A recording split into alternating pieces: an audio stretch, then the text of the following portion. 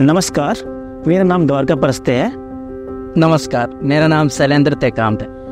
हम मध्य प्रदेश के डिंडोरी डिस्ट्रिक्ट के रहने वाले हैं। छोटा सा गाँव गारका मट्टर से बिलोंग करते हैं करंजी ब्लॉक से। यह गोंडी भीति चित्र कला दो साल साल पुरानी है जिन्होंने हमारे पूर्वज लोग कर रहे थे।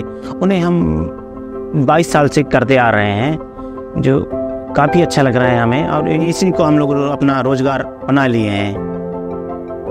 हम नीता अम्बानी जी का बहुत बहुत तह दिल से धन्यवाद देना चाहेंगे, जो कि हमारे आर्ट हम लोग गाँव तक ही सीमित था।